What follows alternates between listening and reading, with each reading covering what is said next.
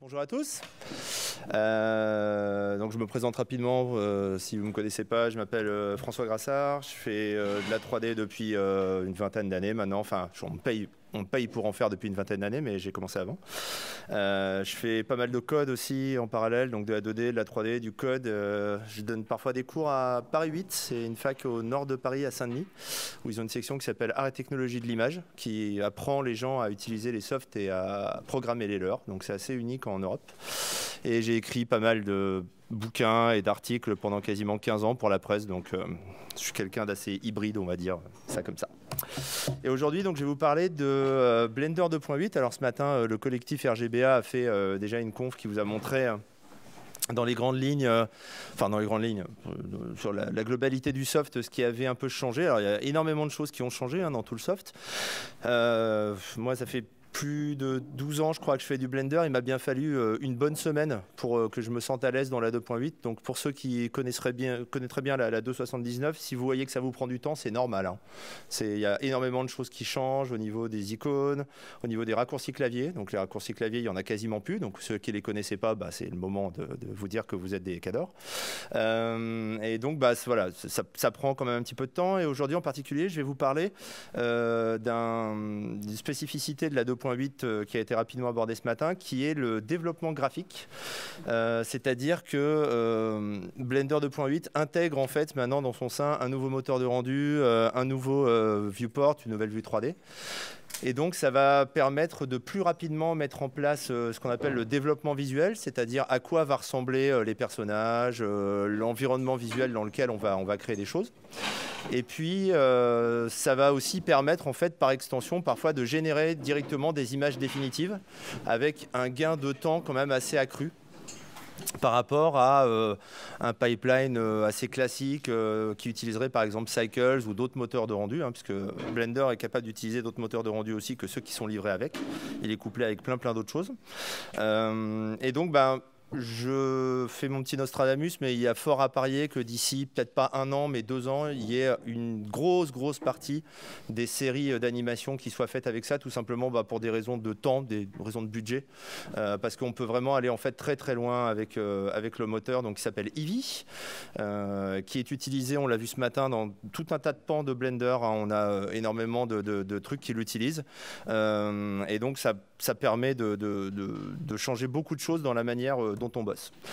Euh, donc on a vu, on a une refonte de l'interface, il y a une optimisation des structures de données aussi, c'est-à-dire que la manière dont sont stockées les données à l'intérieur de Blender, ça a été réorganisé, ça permet de, gérer des scènes beaucoup plus lourdes déjà. Euh, une amélioration des performances d'affichage, une meilleure réactivité de l'ensemble du logiciel, alors pas partout. Je vous avouerai qu'il y a certains pans de Blender 2.8 là qui pour l'instant, en tout cas je mets les gros guillemets, pour l'instant, sont plus lents que son prédécesseur.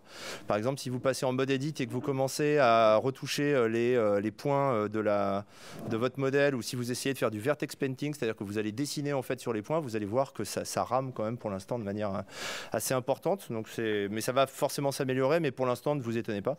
Un truc qui change énormément, c'est l'ouverture vers les standards de l'industrie. Alors j'ai mis industrie du cinéma, mais de l'industrie de manière générale. C'est-à-dire que jusqu'à maintenant, Blender avait plutôt tendance à, à essayer d'avoir ses propres formats, à pas forcément discuter avec les autres. C'est quelque chose qui change en fait ces temps-ci. Donc euh, il y a Alembic, il y a euh, VDB, il y a un truc qui s'appelle Cryptomate qui, est sorti euh, il y a quelques temps et qui permet en fait d'isoler après le rendu en fait des éléments dans l'image sans avoir besoin de, dire toi tu es le numéro 1, toi tu es le numéro 2, ce genre de choses. Donc là ça a été intégré euh, il y a une semaine à peu près.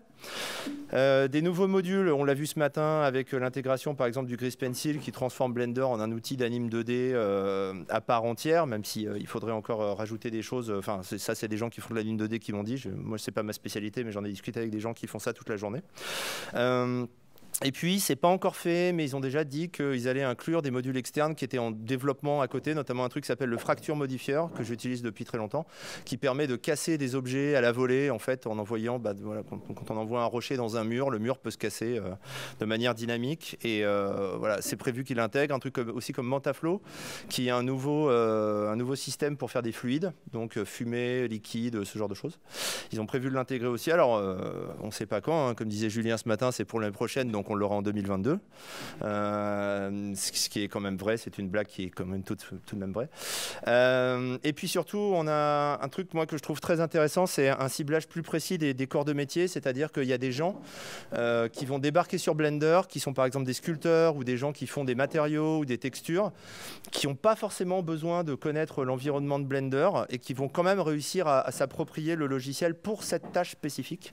Et ça, je trouve ça vachement intéressant. C'est-à-dire que quand vous avez euh, euh, ici la possibilité de créer un, nouveau projet, bah, vous avez par exemple euh, des, lots d'interfaces qui vont vous être proposés, notamment des onglets qui vont se rajouter. Alors General, c'est celui que j'ai devant le nez ici, c'est-à-dire c'est juste une vue 3D avec des paramètres. Mais un que je trouve intéressant, par exemple, c'est le sculpting. C'est-à-dire que si vous lui dites je veux créer un nouveau projet pour sculpter des objets, euh, vous allez vous retrouver directement avec un élément tel qu'on pourrait le retrouver dans des logiciels comme ZBrush, par exemple, qui est un logiciel de sculpting qui est très très utilisé dans, dans, le milieu. Et puis euh, l'onglet shading qui est juste à côté, qui va vous permettre très rapidement de euh, donner des matériaux, donner des textures, donner un look en fait à votre personnage ou ce que vous êtes en train de développer. Et étant donné que là on a déjà tous les boutons qui sont apportés avec les outils qui sont directement disponibles dans ces deux onglets, ça va être assez rapide en fait pour quelqu'un même qui ne connaît pas le soft de comprendre comment on va, euh, comment on va travailler là-dessus. Donc euh, ça rend le logiciel beaucoup plus accessible à des gens qui n'ont pas besoin de rentrer dans le logiciel à 100%, d'apprendre tous ces arcanes pour s'en servir. Et ça, c'est quelque chose qui, à mon avis, va, va aider énormément. Donc, je trouve que c'est une très très bonne idée d'avoir fait ça parce que voilà, quand on fait des VFX, par exemple, on, fait euh, ou du motion tracking ou alors des masques pour extraire des gens, du compositing pour les rajouter sur des fonds, faire des opérations comme ça, ou du rendu pour voir le résultat. Donc voilà, on a déjà toutes les fonctions en fait qui ont été préparées. Mais le, le, cas le plus probant pour moi, c'est vraiment les gens qui font du sculpting. Ils ont juste envie d'ouvrir le soft, faire un truc et faire ce qu'on appelle du look dev on en a parlé pour ceux qui étaient là ce matin rapidement. C'est-à-dire, on doit développer un personnage, par exemple, on veut très rapidement voir à quoi il va ressembler pour le faire valider par les équipes de, DA ou les réalisateurs. Et euh, bah, il faut être très rapide. C'est-à-dire qu'actuellement, la norme, c'est entre un et deux personnages par jour pour ceux qui, sculptent. Hein, voilà, alors bien sûr, on s'attarde un peu plus sur les personnages principaux, mais sur les personnages secondaires, c'est un peu la vitesse qu'on demande aux sculpteurs. Hein. C'est minimum un personnage par jour. Un personnage, sculpture, et puis le look, euh, ses couleurs, ce genre de choses. Donc, euh, il faut quand même aller assez, vite. Et ce genre d'outil, à mon avis, va, va fortement aider euh, à l'adoption du soft. Euh, donc on a des templates d'interface, donc ça permet de rationaliser et simplifier l'utilisation des logiciels. Et puis pour ce, justement cet aspect visuel, on a trois moteurs de rendu. Euh, alors je mets rendu entre guillemets parce qu'il y en a un qui s'appelle l'OpenGL, donc en fait c'est la vue, euh, pour ceux qui font du Blender 279, c'est très proche de l'ancienne vue en fait. Donc c'est un truc très basique, mais qui permet de, de, voir très rapidement où sont les objets. et puis dans les deux autres modes, on a le wireframe, donc c'est la vue en fil de fer qu'on qu'on connaît le, plus souvent.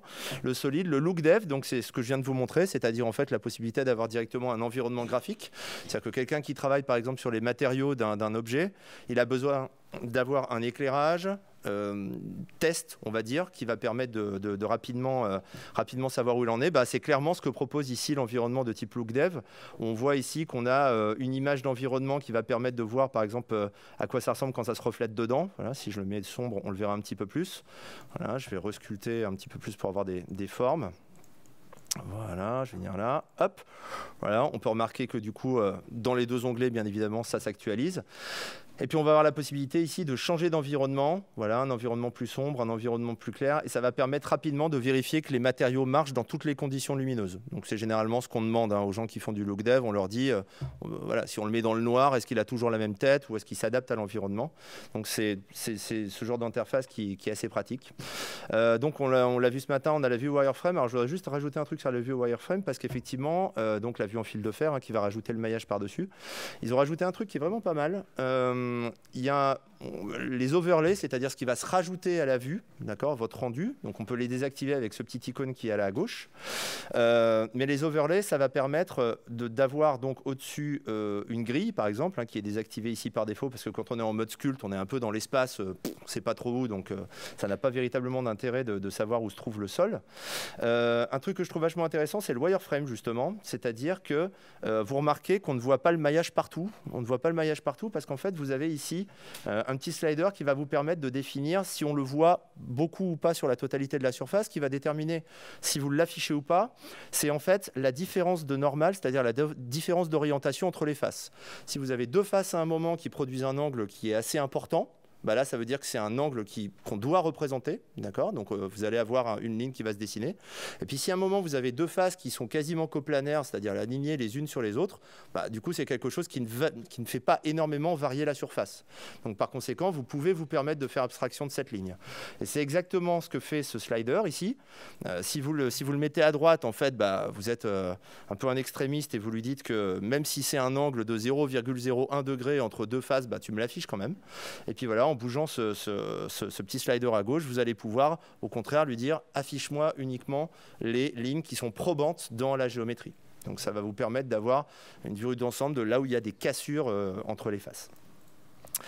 Et puis ici, euh, on a euh, la vue Eevee. Alors pour l'instant, donc la Eevee, donc c'est le moteur de rendu, le nouveau moteur de rendu qui est, alors je mets les gros guillemets, temps réel. Euh, Henri ce matin a, spécifié un truc qui me paraît très important. C'est temps réel dans la mesure où vous avez un retour très rapide sur le feedback, d'accord? Mais vous avez quand même un temps de rendu, alors qui est très faible. Euh, je vais vous montrer certaines animations que j'ai calculées. Parfois, je suis entre 5 10 secondes par image pour de la Full HD, ce qui, vous allez voir, vu les résultats, est quand même pas grand-chose. Hein. Euh, mais faut pas vous dire que c'est zéro temps de rendu, c'est-à-dire on fait play et puis ça va nous sortir à la vitesse de la, lecture la totalité des images. Il y a quand même un petit temps de rendu, donc il faut encore penser en termes d'architecture. Est-ce que j'ai plusieurs machines pour calculer les images ou ce genre de choses Donc il faut, bien tenir ça en compte. Le, terme temps réel, je m'en méfie beaucoup. Euh, ça a tendance à être très galvaudé. Voilà, c'est pas un moteur de jeu, c'est pas fait pour ça, hein, d'accord?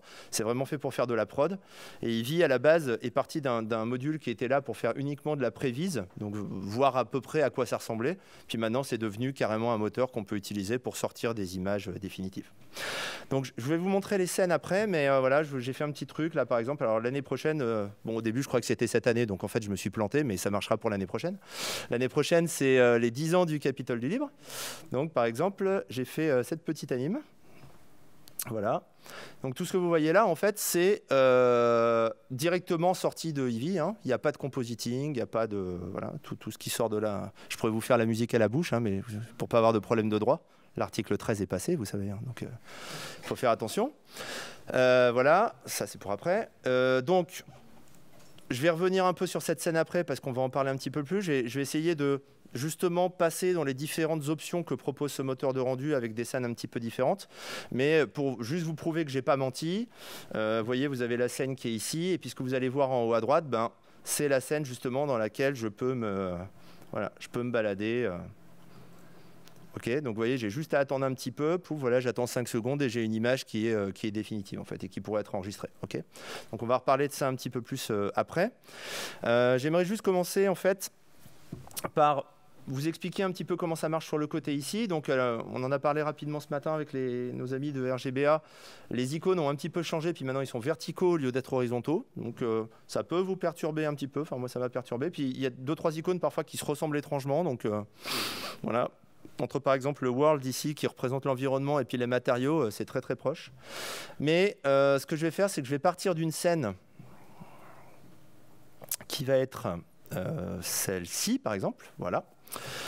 Et on va regarder un petit peu toutes les options qui nous sont proposées. Alors premièrement, on va avoir quelque chose qui est, je, je, le prends un peu à l'envers. Alors là, c'est parce qu'il a été mis à l'envers. Alors excusez-moi, ce que je vais faire, c'est que je vais repartir de là sinon il va me les mettre à l'envers. Et je vais juste aller chercher euh, lui, lui, non, objet donc. Voilà. Ah bah non, non c'est bon. Je croyais qu'il me l'avait mis à l'envers, pardon. Et puis je vais ressauver. je vais être quelqu'un de très inventif, je vais mettre base 2.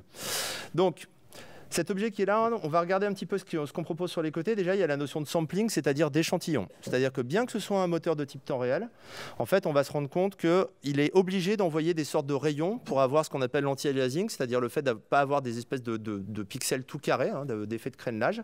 Là, euh, vous avez le nombre de, rayons excusez-moi, qui va vous envoyer en mode viewport, c'est-à-dire quand vous êtes là-dedans, et puis le mode euh, render, où là, vous allez demander le véritable, euh, le véritable rendu de l'image. Alors, si vous avez une grosse machine avec une grosse carte graphique, n'hésitez pas parfois à monter au même niveau parce qu'il y a des fois où ça marche bien quand même. Enfin, 8, euh, généralement, je reste pas à 8, hein, parce que sinon ça fait du grain partout, c'est pas très très joli et ça m'empêche d'avoir une vision euh, définitive de la chose.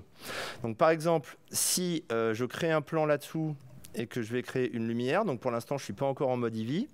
Mais si je passe ici dans le mode render, là, on peut se rendre compte maintenant que j'ai une ombre qui est projetée. OK. Et puis, euh, alors là, je lui demande pas de faire grand-chose. Donc je vais avoir euh, un lissage qui va être assez propre tout de suite même si je le mets à, si je le mets à 1, voilà. Si je le mets à 1, je sais pas si vous pouvez voir, il y a quand même des gros carrés sur les bords, donc c'est pas très très joli. je suis désolé, ça se voit pas beaucoup là. Mais euh, si je passe tout de suite à 8, voilà, pour l'instant je vais rester à 8, on verra ce que ça fait. Euh, c'est déjà un peu plus joli. Vous avez une option là-dedans qui s'appelle Viewport Denoising. Euh, ça marche essentiellement, regardez si on laisse la souris dessus. Voilà. Ça s'appelle euh, euh, donc débruiter l'image de manière temporelle. Temporelle, ça veut dire quoi? Ça veut dire que euh, dans le temps, quand vous allez calculer plusieurs images, il va essayer de faire des analyses entre ces images pour justement réduire le grain. Donc quand vous avez une seule image, ça ne marche pas forcément. en plus de ça, vous voyez, c'est marqué que ça peut laisser des effets de ghosting, c'est-à-dire des effets de fantôme entre une image précédente et l'image suivante. Par conséquent, j'ai plutôt tendance à décocher ce truc-là parce que sur certaines images, ça m'a créé justement des espèces de traînées un peu bizarres. Et généralement, il suffit d'augmenter un petit peu le nombre de rayons que vous voulez envoyer. C'est un petit peu plus long, mais euh, vous n'avez plus de problème de grain ou ce genre de choses. Au niveau des ombres, euh, ici, donc on peut voir déjà qu'il euh, y a différents types de de lumière qui sont, qui sont supportées hein, par Eevee. Euh, on a des ombres qui sont parfois générées avec ce qu'on appelle des shadow maps, c'est-à-dire qu'en gros, pour vous, expliquer rapido, c'est un peu comme si vous vous mettiez à la place de la lumière. Voilà, j'essaye à peu près d'aligner les deux. Un peu comme si vous preniez une photo de la silhouette et vous reprojetiez en fait sur le sol la silhouette qui a été détectée. Voilà. Mais il peut aussi, dans certains cas, vous envoyer des rayons pour essayer de faire quelque chose de plus précis, mais c'est dans des cas très très spécifiques, quand il doit faire justement des, du subsurface catering ou ce genre de choses, choses qu'on verra après. Et donc, vous avez la notion de résolution. C'est-à-dire que quand il a pris une photo en fait, de cette silhouette et qu'il va la reprojeter derrière, il faut bien que cette photo ait une certaine définition, un certain nombre de pixels.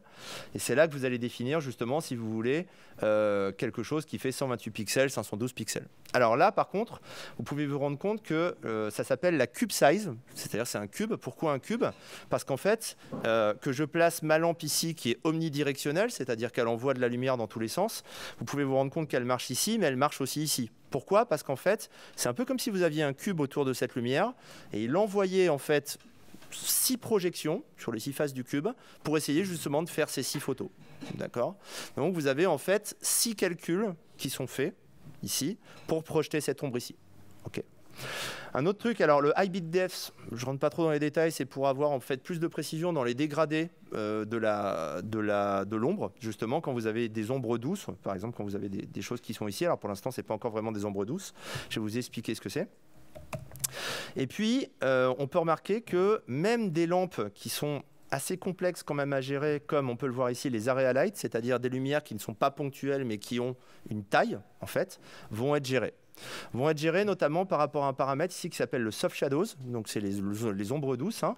Et quand je vais cliquer dessus, regardez bien ce qui se passe en fait. On va se rendre compte qu'on a plusieurs duplicata, de l'ombre. Alors quand je bouge en fait, on se rend compte que ça se désactive et puis dès que je relâche, ça, va se calculer.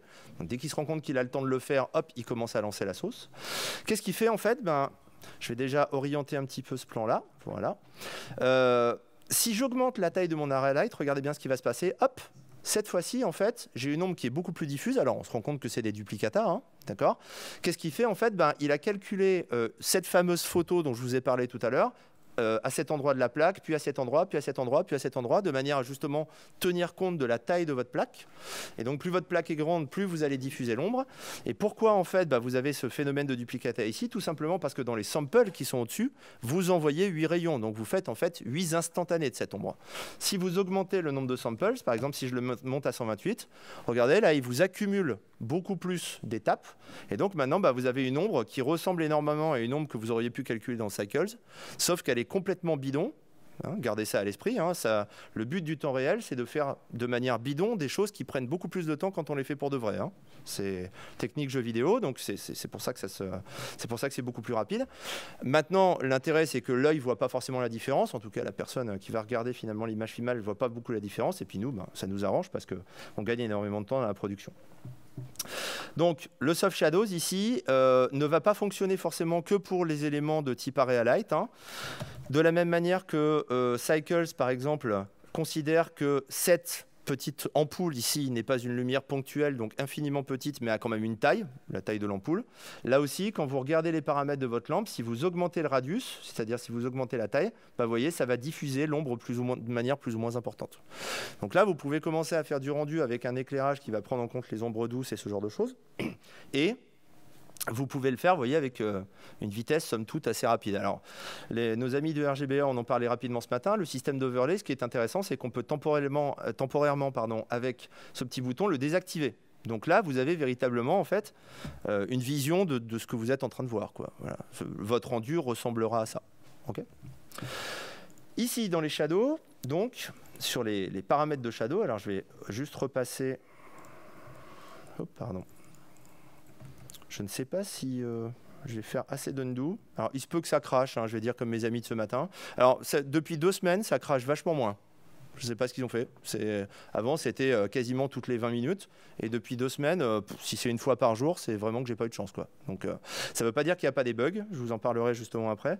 et comment les contourner à l'heure actuelle, en espérant bien sûr qu'ils soient, corrigés après. Mais voilà, il faut, prendre ça en compte. Quoi. Donc, quand on fait justement des ombres, comme ça. Voilà.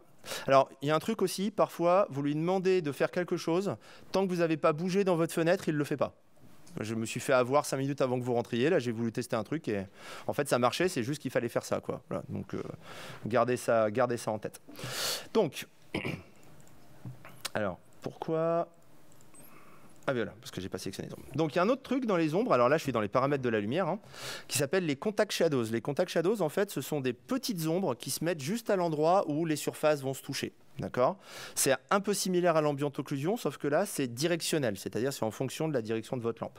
Donc quand vous sélectionnez Contact Shadows, regardez bien ce qui va se passer ici. Hein, ça se fait euh, à ce niveau-là, au niveau du sol. On va se rendre compte que ben, il recalcule en fait une deuxième projection d'onde, mais plus courte. Donc là, faites attention aussi, vous êtes dans un système temps réel, c'est-à-dire que, au sens jeu vidéo du terme, c'est-à-dire qu'il calcule des ombres spatialement. Et par exemple, une lampe comme le sun, c'est-à-dire quelque chose où depuis très très longtemps on vous dit que euh, sa position en fait n'a pas d'importance, mais c'est finalement sa, son orientation qui est importante. Bah là, dans le cas euh, d'un système type temps réel, il se peut parfois que vous perdiez l'ombre à un moment. Vous voyez, regardez bien. Pourquoi vous perdez l'ombre? Parce que vous êtes en dehors de la boîte de définition en fait qui va permettre de faire le calcul. Donc comme on vous a dit depuis tout le temps, euh, oui le sun, tu le places où tu veux, c'est la direction. Bah là non. D'accord? Là, il y a une notion de jusqu'où il va calculer. Quoi. Donc, si vous sortez de là, faites très très attention. Voilà, vous pouvez vous retrouver avec des choses comme ça. Donc, il faut être dans une optique euh, telle qu'on pourrait l'avoir dans le jeu vidéo, c'est-à-dire une optique d'optimisation. Toujours. C'est super important. Ok? Donc, ce que j'ai fait ici pour vous montrer ensuite, alors, on en était où? On en était dans Shadow. Alors, je vais juste euh, zapper un direct lightning. Je vous en parlerai après parce que c'est un petit peu plus compliqué. La notion de film, alors, elle est pas très difficile à comprendre, mais déjà très très mal expliqué. Bon, il y a quasiment pas de doc pour l'instant, donc de toute façon, elle est très mal expliquée. Mais euh, c'est pas forcément facile à comprendre, justement, quand on comprend pas comment marchent les moteurs type temps réel. Euh, imaginons que vous demandiez, par exemple, à votre, euh, à votre moteur de calculer une espèce de halo de lumière. En fait, ce qu'il va faire, c'est qu'il va capter la lumière, il va faire un flou, D'accord il va recompositer, remettre ce flou en par-dessus l'image, de manière à ce que ce halo déborde en fait des sources lumineuses. Eh bien, si vous êtes un moment sur le bord de l'image, d'accord Et que donc bah, vous avez des pixels en fait qui doivent être calculés pour faire une moyenne avec des pixels qui sont à l'extérieur, bah, vous allez vous trouver battu parce qu'il ne peut pas faire une moyenne avec des pixels qu'il n'a pas calculés.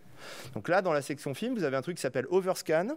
Ça demande au moteur de calculer des pixels au-delà de ce que vous voyez. Donc il en calcule un petit peu plus. Ok, donc ça se définit en pourcentage. Et ça va lui permettre justement de faire une moyenne. Donc si à un moment, vous avez par exemple des effets qui sont super jolis, puis quand vous vous déplacez, vous vous rendez compte que cette zone de l'image sur le côté ne composite plus cet effet, c'est à cause de ça. C'est parce qu'il ne peut pas faire des moyennes à partir de pixels qu'il n'a pas. Quoi. Donc là, vous l'autorisez en fait à aller chercher des pixels au-delà de ce que vous êtes en train de voir pour qu'il puisse faire ses calculs. Voilà. La notion d'overscan, c'est ça. Euh, le filter size, ben, comme vous avez tout un tas de rayons qui sont envoyés, la question c'est tu fais la moyenne de combien de rayons? Donc là, vous pouvez aller ou en deçà du pixel pour avoir une image qui a plus de piqué, qui est plus nette, mais qui peut aussi être un petit peu plus aliasée avec des petits carrés. Ou alors, vous pouvez aller beaucoup plus haut. D'accord C'est pas forcément un truc très très facile. Je vous conseille de le laisser à 1 pour l'instant. C'est vraiment dans des cas très spécifiques. Et puis un truc super intéressant, c'est euh, notamment quand on a besoin de récupérer les images pour les compositer peut-être dans un logiciel externe ou même dans le, dans le compositeur de Blender, c'est la notion de sur quoi tu vas me rendre mes éléments. Là, la notion de sky, c'est tu vas me prendre le fond et tu vas me le mettre derrière. Mais si on se met en transparent et par exemple qu'on va créer une caméra qui est ici, quand on va faire un rendu, pouf, ouais, c'est fini. Hein. Donc euh, là, le rendu est fini. Vous pouvez vous rendre compte que, bah, du coup, et ça va vite. Hein. Du coup, euh, bah, il va avoir la possibilité de vous sortir une couche alpha, quoi. Et ça, sortir ce genre de choses des moteurs de jeu, parce qu'il y a plein de gens, par exemple, qui prennent de l'Unreal Engine pour faire des rendus pour dire ça ira vachement plus vite. L'Unreal Engine, il peut pas vous sortir des éléments avec couche alpha. Donc mes potes qui font ça, ils mettent des fonds verts des plaques vertes et ils incrustent sur fond vert. Voilà, vous comprenez pourquoi c'est l'intérêt d'utiliser ce truc-là. Donc euh, voilà, c'est des choses qui sont, qui sont quand même super importantes. Euh, un truc qui est vachement intéressant aussi, alors là c'est pareil, hein, si ça marche pas, vous secouez la fenêtre et puis ça va se remettre à jour. Ça arrive très très souvent c'est la notion de gestion de ce qu'on appelle euh, les lookup tables, c'est-à-dire une fois que tu as rendu l'image, est-ce que éventuellement tu peux rajouter des euh, corrections colorimétriques dessus ou des choses comme ça? Et ça, bah, ça se fait via le color management. Alors ceux, qui font du cycle, vous connaissez peut-être déjà le filmic ou ce genre de choses. Hein. Bah, là, ça va être exactement la même chose. Par exemple, là, vous voyez, parmi toutes les euh, pellicules qui est censée simuler le moteur, si vous prenez par exemple une pellicule de type Fujifilm, il vous suffit d'avancer voilà, d'une image et de reculer pour mettre à jour. Et là, bah, il vous a changé le, type de, euh, de, modification de l'image en fonction des courbes d'une pellicule Fuji. Quoi. Voilà. Donc vous avez tout un tas de pellicules. Après, si vous faites du compositing derrière, vous n'allez pas forcément utiliser ce truc-là. Mais euh, par contre, vous pourriez très bien vous dire que euh, vous êtes en filmique, voilà ici, et puis vous allez utiliser une courbe et là, vous êtes en train, voyez, de euh, retoucher en fait votre rendu directement. Donc ça va vous permettre d'étalonner entre guillemets. Hein, voilà. Alors je vous dis pas qu'on va utiliser ça pour les rendus finaux, quoique pourquoi pas hein, au final. Mais euh, ça, peut, ça peut quand même servir euh, directement pour dire tiens c'est trop sombre et puis pour la preview j'ai envie de le mettre plus clair. Bon bah là vous voyez directement ce que vous êtes en train de faire. Bon pour l'instant faut faire avant-arrière pour forcer le refresh, hein, mais ça, va ça va se tasser, ça va se corriger. Donc voilà, tout le color management ici, exposeur, euh, gamma, ce genre de trucs. Voilà, vous pouvez cramer vos images, c'est super. Voilà. Ah tiens, là il se remet à jour. Je ne sais pas pourquoi. Là, il est sympa. Donc voilà, ça va vous permettre de faire ça. Alors Simplify, c'est euh, exactement la même chose que dans Cycles, c'est-à-dire que si à un moment vous avez un personnage avec beaucoup de cheveux ou avec beaucoup de subdivisions et vous voulez qu'au moment du rendu, on voit la totalité des subdivisions, mais par contre à l'intérieur de ce que vous êtes en train de regarder ici, pour des raisons de réactivité, vous avez envie de lui demander d'avoir un modèle moins, moins subdivisé ou moins détaillé, vous avez la possibilité de faire le tri entre viewport, donc ce que vous voyez là, et le rendu à la fin. D'accord? Donc euh, ça peut, être, ça peut être vachement pratique de, de faire le tri. Euh, alors, Shadow, on vient d'en parler. Il y a deux méthodes, je ne rentre pas dans les détails. Il y a VSM et ESM. En gros, la différence, c'est qu'il y en a une qui rajoute du détail au fur et à mesure où vos ombres se rapprochent de la caméra. Et il y en a une qui fait complètement l'inverse. C'est-à-dire que plus vous allez vous éloigner de la caméra et plus il va essayer de rajouter des détails. Pourquoi vous choisissez l'un ou l'autre C'est tout simplement est-ce que vous êtes rasant au niveau du sol ou est-ce que vous êtes plus vers la verticale par rapport à votre objet? Voilà. Euh, mais les deux méthodes sont disponibles. Le Screen Space Reflection. Alors ça, c'est un des trucs justement que les gens qui font de l'Unreal Engine euh, nous envient. Regardez bien, c'est assez rigolo. Donc, je vais dire par exemple à cet objet, euh, alors déjà, je vais dire par exemple à celui qui est sur le sol, voilà, je vais aller chercher euh, une texture de sol. Et puis euh, ici, je vais lui dire que j'ai un nouveau matériau, donc pour l'instant je vais le laisser blanc. Et puis euh, on a la notion de roughness ici, c'est-à-dire la rugosité de la surface. Est-ce que c'est rugueux par rugueux? Donc est-ce que les réflexions vont être nettes ou au contraire diffuses? Pareil pour les réfractions. Et dans les options ici, on voit que euh, a la transmission. Alors la transmission, ça veut dire que les rayons passent à travers. Là, on peut se rendre compte que euh, on a une réfraction de quelque chose, mais on ne sait pas trop ce que c'est. C'est parce qu'en fait, je suis en mode look dev et en mode look dev, on me donne accès, vous le voyez par défaut, à un environnement. Ça m'évite d'en mettre un en fait. Là, si je change d'environnement, bah, on peut se rendre compte, vous voyez, que euh, ça va changer en fait mes réfractions. Ok. Mais pour l'instant, je ne vois pas complètement à travers. Pourquoi? Parce que j'ai un roughness. Mais là, regardez, si je réduit le roughness, donc cette fois-ci, si j'ai une surface bien lisse, on peut se rendre compte que je vois à travers. Pour l'instant, c'est plus du pipeau qu'autre chose, c'est-à-dire qu'en fait, il prend la map derrière et il vous déforme la map en fonction de ce qu'il y a devant. Mais là où ça devient rigolo, c'est quand vous passez en mode EV, donc là, cette fois-ci, il va vraiment faire des calculs, ok Là, on peut se rendre compte que du coup, ben, on voit plus ce qui se passe derrière. Pourquoi on voit plus ce qui se passe derrière? Parce que euh, là, il faudrait vraiment qu'il calcule des rayons qui passent à travers la surface. Et pour lui dire ça, il faut le faire à deux endroits. C'est un petit peu procédurier, mais ça se comprend. La première, c'est de manière générale, lui dire justement dans cette option, j'aimerais que tu me fasses des screen space reflection. Alors screen space, ça veut dire dans l'espace de l'écran, c'est-à-dire qu'il va uniquement calculer des rayons pour les pixels qui sont rendus. Il ne va pas en calculer à perpète ailleurs, il ne va pas calculer des rebonds de lumière dans tous les sens. Ensuite, vous lui dites oui, je veux de la réfraction, parce que sinon il ne fait que des réflexions, donc il va vous réfléchir l'environnement, mais vous n'allez pas passer à travers. Et comme c'est un processus qui réclame quand même un peu de puissance, il ne va pas le faire pour tout le monde, donc il faut lui dire spécifiquement dans les paramètres de votre matériau oui, je veux du screen space reflection. Donc c'est ce que vous allez avoir ici. Et maintenant, quand vous faites ça, vous voyez, il est vraiment en train de calculer des rayons qui passent à travers. D'accord? Et si par exemple dans mon environnement ici, je lui dis que je veux aller chercher une image type HDR, euh, donc quelque chose en fait qui va représenter, euh, voilà, comme ça, là il est véritablement en train de me calculer les, des rayons qui passent à travers. Je peux le prouver, parce que vous pourriez être sceptique. Hein. Regardez, je vais mettre une bouboule euh, derrière comme ça, je vais la mettre rouge, voilà. Ensuite, je vais en prendre une autre et je vais la mettre verte. Voilà. Là, on peut se rendre compte que les deux passent à travers. Et surtout, ce qui est intéressant, c'est si je commence à sélectionner, du coup, hop, j'y ai arrivé, si j'enlève l'overlay, je vois plus ce que j'ai cliqué. Si je commence à jouer avec le roughness, regardez, hop, les deux vont se mélanger en fait. Donc là, vous voyez, on a des petits grains. D'ailleurs, si je baisse le sampling ici pour revenir à 1, vous allez vous rendre compte que ça fait des petits grains. Hein. Ça fait des petits grains parce que j'ai balancé un rayon. Donc j'ai énormément d'aliasing. Si maintenant je commence à euh, augmenter les rayons, par exemple à 4, j'en ai un peu moins. Et puis à 8, j'en ai un peu moins. Puis alors à 64, euh, voilà, là, je ne vois plus rien. Donc il faut un petit temps d'adaptation. Hein, ok Mais là, c'est pareil. Hein, euh, vous rajoutez une caméra ici, vous la mettez là. Voilà, vous faites rendu et hop, c'est fini. vous avez un rendu Full HD euh, qui est directement calculé. Donc vous voyez, ça permet quand même de gagner du temps entre faire des calculs cycles qui prennent des plombes, hein, et puis euh, voilà, ça va, ça, va, ça va durer quand même euh, beaucoup moins de temps. Ok? On continue notre petite exploration des paramètres? Donc,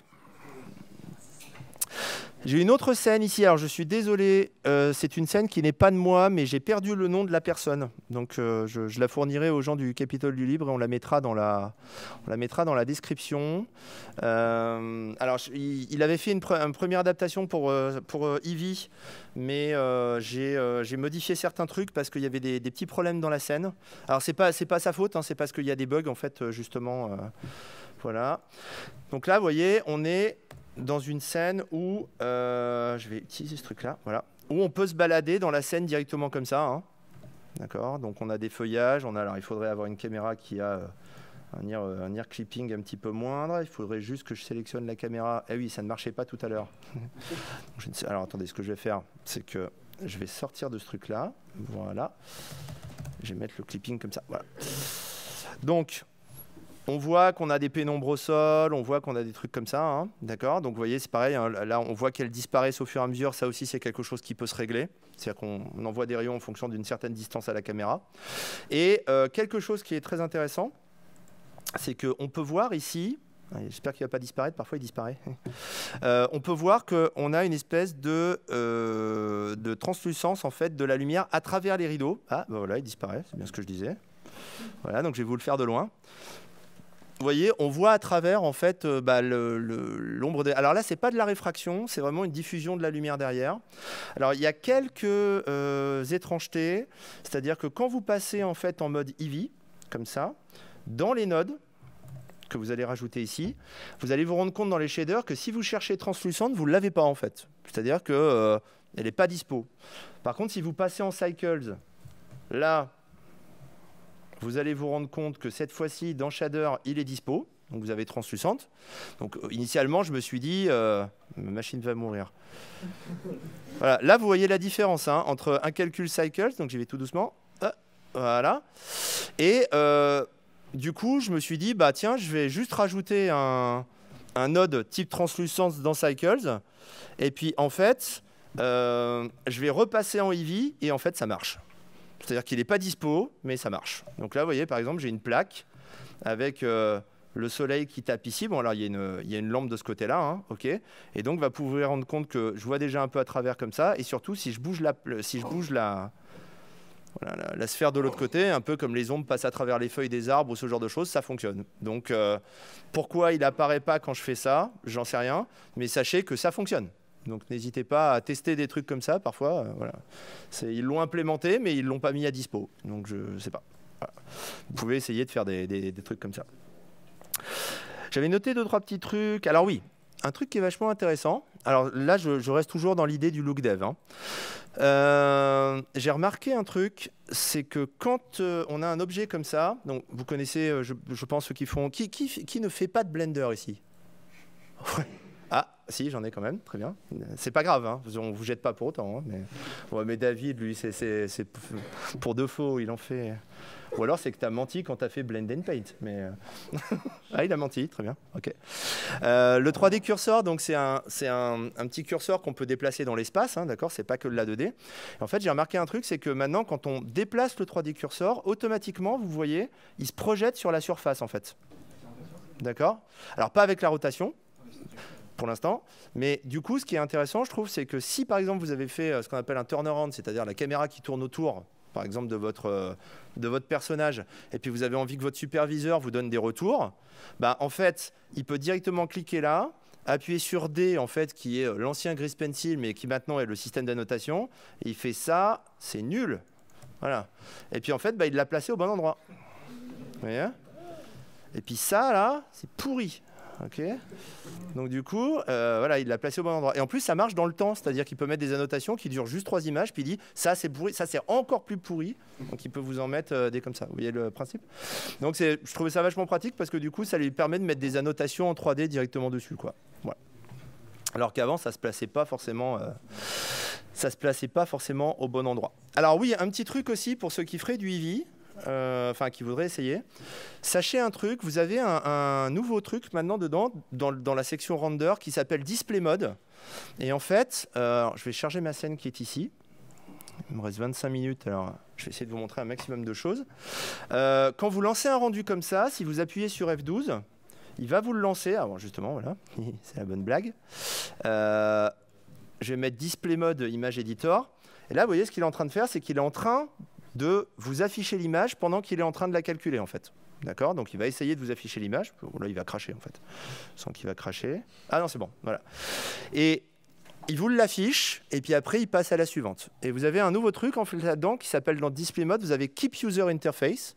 C'est-à-dire qu'en fait, si vous sélectionnez ce truc-là, il va vous calculer l'image. Si vous regardez en bas, on voit une petite progress bar. hein, D'accord? Par contre, il ne vous l'affiche pas. Et puis, si vous lancez véritablement l'animation avec CTRL F12, il va vous l'enregistrer sur votre disque dur. Bah, si vous lancez votre rendu comme ça, vous gagnez 40% du temps de rendu. Voilà. Vous divisez quasiment vos temps de rendu par presque deux, juste parce que vous ne lui demandez pas d'afficher l'image. Donc, euh, gardez-le en tête. hein, ça peut être. euh, Donc, sur cette animation euh, que je vous ai montrée tout à l'heure, là, donc, bah, qui est celle-ci, en fait. hein, J'étais à peu près à bah, même chose que là, c'est-à-dire 6 secondes par image. Quoi. Donc pour sortir euh, cet anime-là, euh, bah, voilà, multiplié par 30 images par seconde, euh, il m'a même pas fallu euh, 20 minutes. Quoi. Donc c'est quand, même, euh, c'est quand même pas mal. Ah, ça je vous l'ai dit, ça je vous l'ai dit. Euh, ah oui. Donc, on va continuer euh, l'exploration des paramètres. Le but c'est de faire un petit peu le tour pour que vous voyez un petit peu ce qui est dispo. hein. Euh, occlusion, alors ça c'est un truc que vous connaissez déjà, peut-être euh, si vous l'aviez activé dans l'ancien euh, Blender, le 279, parce qu'il y avait déjà une option pour le faire. Le truc c'est que ça n'était pas véritablement fait pour... C'était plus quelque chose qui aidait pour avoir conscience de la géométrie, alors que maintenant euh, on a véritablement une ambient occlusion qui va être un petit peu plus costaud quand même, donc parce qu'il est basé au- aussi sur du ray tracing, c'est-à-dire qu'il envoie en fait des rayons. Donc on va pouvoir l'activer ici. Voilà, si je me mets en Eevee, c'est quand même mieux, là j'y étais pas. Alors, n'ayez pas peur, quand vous allez passer en mode Eevee, regardez bien ce qu'il est en train de faire là. Alors, ouais, là, il l'a fait très vite. Quand vous chargez une scène, vous démarrez Blender et vous chargez la scène, il va avoir un petit temps d'arrêt et parfois, s'il est de bonne humeur, il vous met une espèce de progress bar en bas D'accord? C'est parce que pour ceux qui feraient du shader coding, il compile les shaders. C'est-à-dire qu'en fait, il est en train de transformer ces informations en code binaire pour la carte graphique. Et donc, il le fait pour chacune de vos surfaces. D'accord? Une fois qu'il l'a fait, normalement, si vous crachez pas, il les garde en mémoire et il les réutilise. Et l'update est assez rapide. Mais il se peut qu'au moment où vous chargiez votre scène, il y ait un petit, petit délai d'attente. quoi. D'accord? Donc là, vous voyez, l'ambient occlusion, ça va tout de suite vous rajouter euh, quelque chose de plus sympa. Hein. Vous allez avoir justement les pénombres de contacts qui vont être ici. Alors, toujours avec la distance, hein, c'est-à-dire jusqu'à quelle distance tu vas aller chercher mes éléments. Donc, vous voyez, là, c'est quand même vachement plus précis parce que si je le réduis, j'arrive quand même à avoir les détails au niveau de ce truc-là. Hein. D'accord Alors qu'avant, dans l'ancienne ambiante occlusion, vous avez une grosse tâche, puis c'était voilà, ça se limitait à ça. Quoi. Donc là, pareil, hein, si vous êtes à 4, euh, 4 euh, samples, bah, vous allez vous rendre compte que vous avez des petits grains. Je vais me mettre à un sample, je vais chercher les embêtements. Voilà. vous voyez, une espèce de dissering qui est là. là. Et puis si par contre, bah, vous montez à 64, alors c'est pas non plus la peine, c'est comme, comme les shadow maps hein, dont on a parlé tout à l'heure, les, les cube maps pour les, pour les lumières. Au-delà de 2048 pixels, c'est un peu du gâchis. Vous voyez plus trop la différence. Et puis, euh, vous allez avoir des temps de calcul qui, cette fois-ci, vont passer du simple au quadruple. Donc, vous commencez à le sentir passer. Quoi. De toute façon, il faut que vous fassiez une analyse euh, plan par plan, on va dire, entre guillemets, quand vous allez rendre vos éléments, euh, qui va dire est-ce que j'ai besoin de pousser ces samples, oui ou non quoi? Voilà, c'est un peu, peu l'idée. Hein. D'accord? Le volumétrique, alors ça c'est super intéressant. Donc là j'ai passé un petit peu plus de temps là-dessus. Donc l'ambient occlusion, bah, en gros c'est euh, à quelle distance je vais aller chercher euh, la, à quelle distance je vais aller chercher euh, l'information de de, proximité, on va dire, entre les surfaces. si les surfaces sont très proches, ça va faire une pénombre très importante. Si elles sont plus éloignées, ça va faire moins importante. Et là, regardez bien, si par exemple, lui qui est là, je vais le dégager pour qu'on puisse voir la table en dessous, euh, on voit qu'on a une proximité ici euh, euh, des pieds de la table avec le sol, mais le haut de la table ici, donc qui est beaucoup plus éloigné, je peux réduire cette distance pour qu'elle n'agisse pas sur le sol. D'accord? Donc si vous avez une ambiance plus ou moins claire, plus ou moins lumineuse, euh, voilà, ça, peut, c'est, à, vous de régler ce genre de choses. D'ailleurs, si on regarde euh, cette scène qui est ici, sur laquelle j'ai enlevé toutes les lumières et euh, j'ai remis uniquement une, une area light, justement. Donc là, on va combiner l'ambient occlusion, donc c'est-à-dire on va, on va définir des, des, des, shadows, enfin, excusez-moi, des, des ombres de proximité, voilà, qui vont être là. Et en plus, j'ai mon area light qui va projeter des shadows et des contacts shadows. Donc là, on voit, regardez bien l'intérêt des contacts shadows. Là, il n'y en a pas. On n'a pas véritablement l'impression que, c'est en dessous. Et puis là, il y en a. OK? Donc, vous voyez, hein, c'est quand même assez dynamique, on peut les bouger. Hein, voilà, et dès qu'on le relâche, pouf, ça se remet à jour. Donc, on va discuter un peu maintenant, euh, puisqu'il me reste 10 minutes, on va discuter volumétrique. D'accord? Donc, volumétrique, c'est quoi? C'est simplement la possibilité d'avoir euh, des lumières, enfin en tout cas un environnement, on va dire un peu vaporeux, d'accord? C'est-à-dire que la distance qui nous sépare n'est pas remplie avec du rien, mais remplie avec de l'air. Et cet air peut être plus ou moins dense. D'accord? Et euh, j'ai deux exemples. Alors, bien sûr, j'ai la scène dont je vous ai parlé tout à l'heure, puisque les spots qui sont ici, voilà, c'est des vrais spots. Hein, d'accord? C'est-à-dire que euh, si je rajoute le mode overlay qui va être ici, je vais sélectionner ce spot qui est là. Regardez bien, je peux le tourner. Alors, il y a un côté, euh, j'ai une preview, puis dès que je le relâche, en fait, vous voyez, il est en train de calculer des sphères à l'intérieur qui va accumuler, en fait, de plus en plus. Hein. Euh, pour ceux qui connaissent le jeu Inside, c'est à peu près la même chose, sauf qu'ils envoient des particules dedans, et puis ensuite, ils calculent une, espèce d'interpolation entre les, entre les points. Là, c'est des sphères, et ensuite, il faut une interpolation entre les sphères. Donc, euh, ça va vous permettre d'avoir d'avoir des lumières volumétriques, et puis surtout, ce qui est intéressant, c'est que on va aussi pouvoir le faire via un truc qui est supporté depuis pas très longtemps. Là, ils l'ont rajouté il n'y a pas très longtemps. La fumée, par exemple. D'accord? Donc, regardez, je vous ai calculé ici. Hop, c'est pas là. Je vous ai calculé une petite anime ici qui ne veut pas se lancer. Voilà. Donc ça, en temps de calcul, c'est à peu près une seconde et demie par image. D'accord. La preuve, hein, regardez bien, si je me balade maintenant ici en mode euh, Eevee, voilà, regardez, je me balade dedans, puis il suffit que je me mette là, voilà, et les lumières qui sont dedans, ici, vous voyez, en plus elles projettent des espèces d'ombres volumiques. D'accord. Donc c'est-à-dire qu'en plus de ça, si je place ça au-dessus, voilà, je me mets en dessous, je vais avoir, euh, alors il faudrait que je le mette beaucoup plus fort, avec une énergie voilà, qui va valoir 600. Voilà, regardez bien, vous voyez les ombres dans les volumes qui vont être générés. Ok Donc ça, ça marche du coup. il vous suffit tout simplement de rajouter en fait un shader de volume ou sur la totalité du monde, c'est ce que j'ai fait ici, ou alors vous pouvez le cantonner dans un cube qui va permettre de définir où vous allez mettre, enfin choisir en tout cas, excusez-moi, votre, votre calcul de, de volume. Un autre truc qui est super important, qui euh, en fait est euh, un truc qui nous vient directement des jeux vidéo en fait. Donc quand vous allez là-dedans, vous avez des nouveaux, euh, des nouveaux types d'objets. C'est pas vraiment des objets, mais des choses pour calculer des réflexions, comme par exemple les reflection planes. Alors les reflection planes, je fais très rapidement là-dessus. Vous allez avoir par exemple ici un plan, et puis vous allez rajouter ici un reflection plane ça va vous permettre en fait de calculer véritablement la réflexion. Je vais mettre une vraie light, voilà, ici. Ça va vous permettre de calculer la réflexion ici véritablement. Pourquoi j'insiste sur le véritablement? Parce que vous avez la possibilité de le faire pour de faux aussi. Hein. C'est-à-dire que vous allez activer une option ici qui s'appelle le Screen Space Reflection. Et le Screen Space Reflection, en fait, si j'enlève la roughness qui est par défaut sur tous les matériaux, vous pouvez vous rendre compte que vous avez une petite réflexion ici qui est là. En fait, qu'est-ce qu'il fait? Il prend les pixels qu'il a calculés dans, la vue 3D et il les recopie en dessous. Le problème, c'est que regardez bien la tête de ma statue dans la réflexion. Si je me rapproche, il perd la tête. D'accord? Il perd la tête parce que je n'ai pas rendu l'image de la tête. Si maintenant vous rajoutez ici un euh, reflection plane, vous allez vous rendre compte que il calcule véritablement en fait une image avec une caméra qui est en dessous et il vous reprojette l'image par-dessus. Donc quelque chose qui est hors champ, il arrive à me le calculer quand même. Et dans le même menu, ici, vous avez un truc qui s'appelle le Irradiance Volume. Enfin, le, oui, c'est ça, le Irradiance Volume, excusez-moi. Et ce truc-là, en fait, c'est un truc génial qui va permettre de calculer les rebonds de lumière. Parce que là, jusqu'à maintenant, j'envoie des rayons, ils rebondissent pas contre les murs, et donc je ne peux pas calculer les rebonds de lumière à l'intérieur. OK? Et pour ça, en fait, ben, vous allez mettre ici une espèce de grosse boîte avec des petits points à l'intérieur. Alors, plus vous en mettez, plus c'est précis. OK Et ça va vous permettre de calculer les rebonds de lumière. C'est-à-dire que, regardez bien, si j'enlève donc je ne vais pas vouloir calculer parce que ça peut prendre un petit peu de temps, 2-3 minutes hein, selon les cas. Euh, si par exemple ici, dans la section indirect, hop, je fais un free light baking, alors il faut déjà que je passe en heavy, voilà. Regardez bien par exemple à l'intérieur du zéro ici, vous pouvez vous rendre compte que vous avez c'est pas complètement sombre, c'est-à-dire qu'il y a de la lumière qui est rentrée, alors que j'ai pas de lumière directe dedans. Mais en fait, c'est parce que si j'enlève ici le free light cache, voilà, alors ça ne va pas se voir ici parce qu'il y a tellement de, de bloom par-dessus qu'il y a un autre paramètre en fait qui permet, voyez, de faire une espèce de halo devant comme ça, d'accord?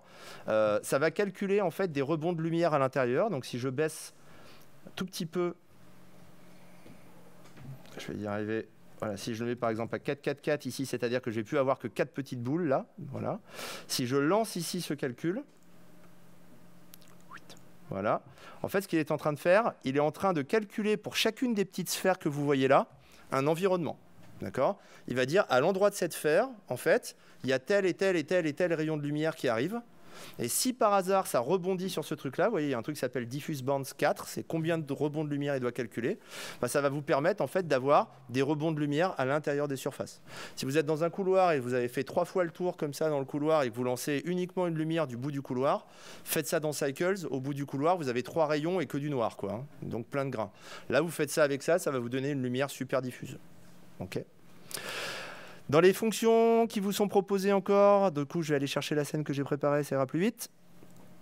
Vous avez... Euh, alors oui, juste un truc, je précise. Pour ceux qui voudraient s'amuser à faire du rendu euh, de euh, fumée, comme ça, il y a un problème pour l'instant, c'est que si vous êtes sur un fond où il n'y a rien, d'accord, il va vous calculer, puis à la fin, il va vous afficher une image vide. En fait, il faut qu'il y ait quelque chose qui soit pas de la fumée derrière. Donc mettez une plaque, mettez ce que vous voulez. Moi j'ai mis une sphère en fait hein, derrière. Il y a une sphère en fait, vous voyez, j'ai appelé ça axe sphère, qui est en fait là pour rajouter quelque chose derrière. Voilà, ce sera sûrement corrigé, mais si vous voulez faire joujou ce week-end, là, ok, euh, vous êtes obligé de mettre quelque chose derrière, sinon il va vous calculer quelque chose, puis à la fin, eh, il n'y a rien, c'est noir. Voilà, il ne va rien vous mettre. Ok. Euh, parmi les options qui vous sont proposées ici, vous avez donc, on a vu les volumiques, on a vu. Alors le motion blur, je fais très rapidement là-dessus. Le motion blur, Vous allez en avoir par exemple là-dedans, donc ça aussi c'est une scène qui n'est pas de moi. hein. Regardez bien quand je me déplace comme ça, vous pouvez voir que notamment dans cette zone ici, qu'il va y avoir des flous de mouvements qui vont être calculés. D'accord? Alors c'est surtout des mouvements de caméra. Pour l'instant, si vous faites des, déplacements d'objets, ça marche bizarrement parfois. Voilà. Mais c'est prévu pour que ce soit implémenté après. hein. D'accord? Et puis, une dernière option qui vous est proposée ici, qui est le of Field. Je ne parle pas du subsurface catering, je vais juste en parler après. Je terminerai là-dessus. Le of Field, ça va vous permettre en fait de définir que vous avez de la profondeur de champ en fait, qui est calculée directement là-dedans. Donc, si à un moment, par exemple, vous avancez, vous voyez votre caméra, comme ça, ça va vous permettre directement de calculer bah, en fait, un flou en fonction de la distance, en choisissant sur qui vous mettez le, focus. hein. D'accord. Et puis un dernier point, vous allez avoir ici, voilà, je passe ici, une option. Alors il, m'a oublié le, il oublié la texture, ça lui arrive parfois. Je vais aller la rechercher. Voilà. Ici, j'ai une lumière qui va se trouver ici. Et regardez bien ici dans la cape sur cet endroit-là. La lumière est derrière. hein, si j'affiche l'overlay ici. Voilà. Et pourtant, la lumière passe à travers et va se diffuser à l'intérieur de la surface. Donc ça, c'est quelque chose qui peut prendre énormément de temps, normalement, si vous le calculez en cycles. Mais là, ça va vous permettre de le faire hyper rapidement. Voilà. Donc là, on a fait le tour. hein. Euh, J'ai passé sur les airs, c'est-à-dire les cheveux, parce que euh, il y a encore deux semaines, euh, c'était pas très bien géré.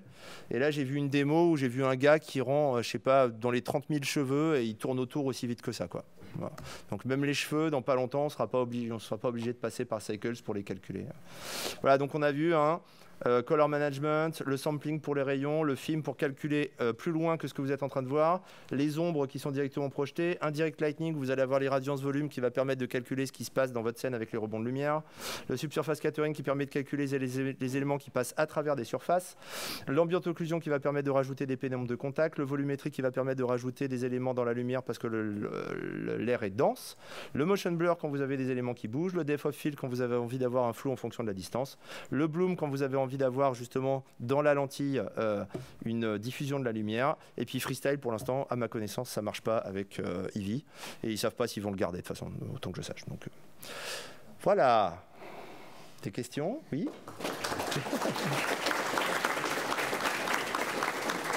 Il nous reste 3 minutes. C'est juste pour savoir, euh, là où tu as montré tous les films qu'il y avait pour simuler des pellicules, Oui. retrouver où c'était.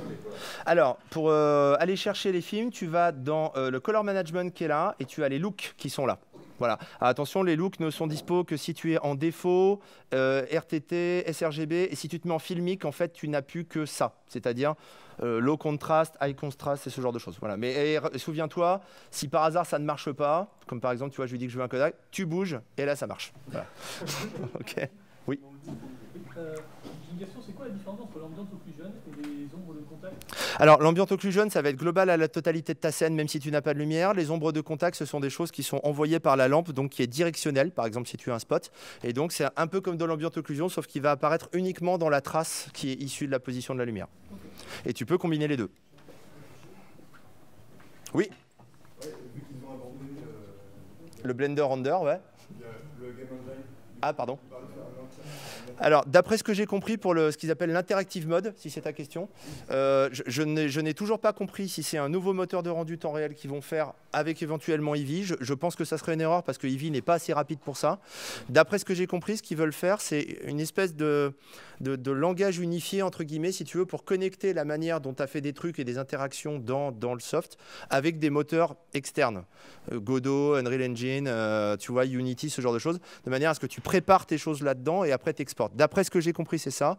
Mais il y a quelqu'un qui m'a dit que euh, Benoît Bolseux, qui, est la personne qui avait fait le Game Engine et qui reprend ce système d'interactive mode, bosserait peut-être sur quelque chose de plus gros. Voilà. faut savoir que Eevee, à la base, c'était pas du tout fait pour être un moteur de rendu final. hein. C'était appuyer sur rend- render et puis avoir des rendus qu'on utilise en prod. C'était pas fait pour ça. C'est devenu ça. Donc peut-être que l'interactive mode va devenir ça. Alors, on peut sortir des canaux et tu as un truc là-dedans qui s'appelle les passes et tu peux sortir, tu vois, Zen, Mist. Alors, pour l'instant, c'est limité, mais par exemple, je connais pas plus rapide pour calculer une passe d'ambient occlusion, c'est euh, une demi-seconde. Voilà. Et qui vaut une, une, une ray tracée. hein. Bah, un peu quand même. Screen space, c'est-à-dire c'est uniquement pour les pixels que tu vois, mais c'est une sorte de ray tracer. Oui. Très vite.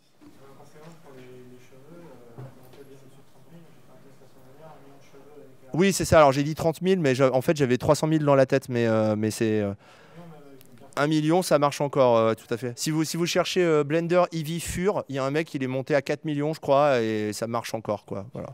Ça marche, ça marche en temps réel, et avec les ombres en plus qui sont de plus en plus denses quand on s'approche des racines. Donc, euh, voilà. Et donc, euh, ma petite vision de Nostradamus, c'est que dans deux ans, euh, à mon avis, toutes les séries se font avec ça. Voilà. Ah, dans deux ans? Merci pour votre attention.